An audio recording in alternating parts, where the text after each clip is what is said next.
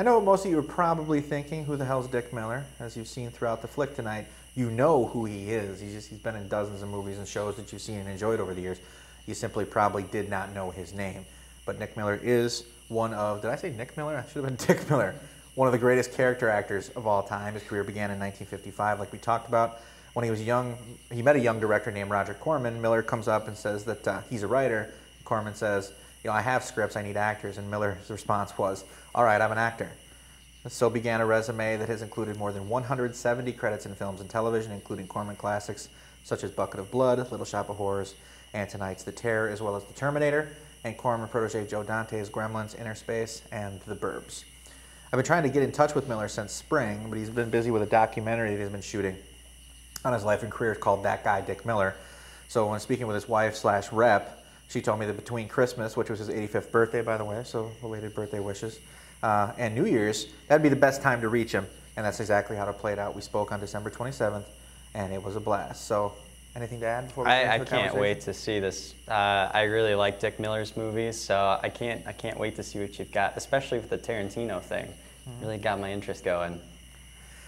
Yeah, the, the, little elements of things you're going to enjoy here because he is 85 and we were having the conversation. His wife was there with him. So every once in a while I would say something and there'd be a delay and I could hear him look at his wife and say, I, I can't hear I can't hear what he said. So there's going to be a little bit of that. So enjoy those for what they are. But without further delay, legendary character actor Dick Miller.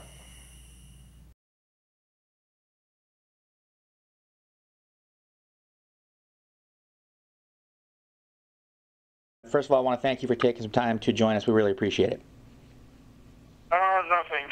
I've got lots of time on my hands right now. Okay. Well, first of all, happy birthday and happy holidays. I mean, with you having Christmas and your birthday on the same day. Yeah. It's been that way for a lot of years. you know, I always thought I got shortchanged growing up. My birthday was on December 20th, but what was it like to actually have your birthday on Christmas on the day? I mean, did you ever feel like you got robbed? You didn't get any presents for your birthday with all Christmas? Constantly. That was always my big complaint. all right, so uh, what has the name Walter Paisley meant to your career? Walter Paisley was is is the most phenomenal person in the world. Uh, I did a picture. Uh, the character's name was Walter Paisley. Uh, we followed with another picture, and uh, we didn't have a name for the character. And uh, uh, Joe Dante said, "Why don't we name him uh, Walter Paisley?" The same name, but uh, different character. Well, uh, it seemed to be an inside joke, and it lasted for about seven or eight pictures. Uh, just recently, I did a picture for him, and uh, the character had no name. It was policeman. I said, we call him Officer Paisley. Times the name's been used. Uh, during an interview for a documentary about Roger Corman, Jack Nicholson actually became emotional speaking about that legendary director. How do you feel about Corman, having worked with him so often throughout your career? Uh, uh it's a fortunate thing. It's about all I can say. Uh, I met the man. Uh, he, uh, he liked what I did. I, I don't know if you know the story about how I met him. Uh, I'll tell it once more. It can't hurt.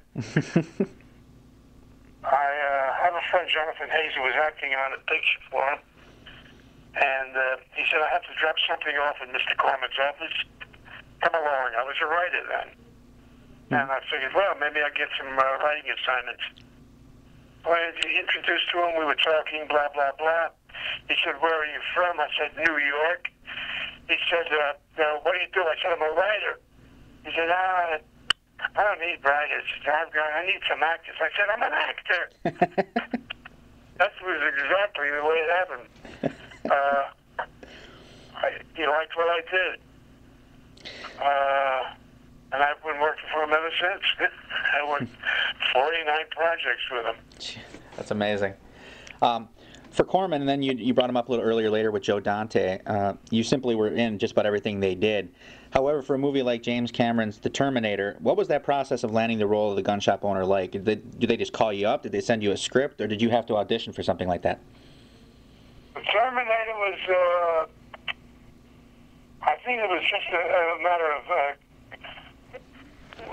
there was a conference uh, with Cameron, and uh, I, I went home, and there was the call was waiting for me, coming to the job, and that was it. I uh, very rarely uh, read for directors. Uh, I don't seem to do good on uh, interviews uh, or auditions. Uh, I, I, I'm not quite sure what I'm doing at the time. But uh, uh, I get a call from them, and that's it. I'm, I'm usually got the job. All right. Uh, you were cast to play Monster Joe in Pulp Fiction because director Quentin Tarantino stated you were one of his favorite character actors of all time, but you didn't make the final cut that hit theaters. Can you share that story with us from getting the role through the initial screening for the cast and crew? Uh, I was initially invited to uh, the cast and crew screening, uh, but when I got there, there was trouble. I couldn't get in. they seemed to, he says, You're not on the list. I said, That's ridiculous. Of course I'm on the list. they let me in anyway. Uh, I saw the Quentin there, and uh, we we get talking and uh, blah blah blah. He says, "What are you doing here?" I said, "I'm, I'm here to see this picture." He says, "Oh, they're not in it." I said, "I'm not in it." He says, "No," and he walked away. And that was it. I, I said, "You got to be kidding me!" I watched the whole picture. I wasn't in it, but. Uh, there was a, a time right afterwards he came to me and he said, "You're not in the picture, but we're, going to add you to the DVDs uh, and all the uh, screenings of it at the end. Uh, the, the scene will be shown, but where you won't be in the picture." And I've never understood that really. Yeah, there was no further explanation of that at all. He didn't give you a reason why that you didn't make the final cut or anything like that. No, there's never been a reason. There's never been a satisfactory reason. They usually say uh, uh, the time element, the time element. Well, the, the picture was uh, too long to be uh, affected by time. Right, it was already a long picture, and I mean I've seen the clip with you in it on the DVD and whatnot, and it certainly it wasn't anything that was going to make the film any longer. It kind of is hard to understand that it was too for time purposes. So, um, one of my favorite movies actually is The Burbs. Can you give us some of your recollections of that cul-de-sac scene with Tom Hanks, Bruce Dern, Rick Ducommun, and Corey Feldman in the back of the garage uh, garbage truck? The birds. Uh, just another picture. We we got it got it going. It, wasn't really a script for the of, of the uh, garbage man. And we ad lib most of it. Oh, really? it's pretty good for ad lib. Um, Oh well, I'm a writer. True story. So, uh, well, we just talked about that with Tom Hanks. You worked with some other, some of the other biggest names in Hollywood history: Boris Karloff, Jack Nicholson, Harvey Keitel, Robert De Niro, Arnold Schwarzenegger, and The Terminator. Was there ever an actor you worked with, you just had some screen time with, that just turned out to be uh, kind of like uh, prima donnas and divas? They weren't necessarily as nice as maybe the public thinks they are. No, they uh, they all turned out to be uh, what should we call them, gentlemen. Speaking of Karloff and Nicholson, we're going to be featuring The Terror this month on B Movie. Uh, what are your, some some of your memories of that movie, making that movie? Terror is a, a, joke. We were, we went up to Big Sur to shoot the picture. Oh, the, first of all, we shot down here in Hollywood because Roger Corman had three days with Boris Karloff on his contract. And uh, Boris says, I want to go home. He says, no, he says, I got another picture. We got to shoot it. Uh, he, he shot a lot of scenes with Boris Karloff, just walking back and forth. Uh, and that was the end of it. And we, we shot some scenes, a lot of scenes that meant meant nothing to each other. I heard from him about three months later. He says, "We're doing the we're doing the terror with Boris Karloff." I said, "Well, I thought Boris Karloff was left." He said, "Oh, he left, yeah, but nobody knew what the story was about. There was no script." when it was a big show, we started shooting. We shot the scenes, scene after scene after scene. Nothing made sense.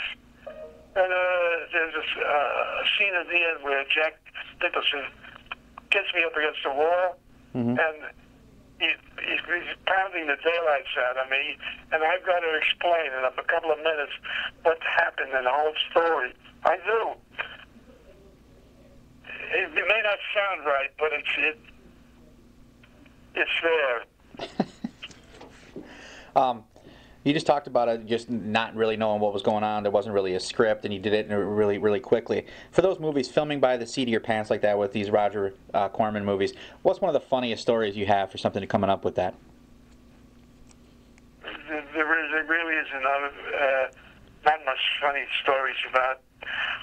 We have a history of uh, 50 years together, and uh, I think I, I, I've seen him socially twice. Oh, all right. we we just we never made it. We don't get along. I don't know. just like at work. All right, so outside of the two and five day sprints to complete Corman movies, what was the longest you ever spent on set for a shoot? Did you ever spend more than a day or two on a movie set? Oh yeah, we, we, shot a picture. In the old days, uh, the, the week was uh, six days, and uh, he, he'd like to finish up in in, uh, in six days to be good. But he usually shot about two weeks on a picture. Uh, we worked very fast.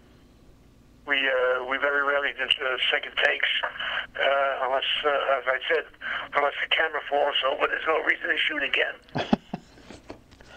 Uh, so, do you still travel around to conventions at all?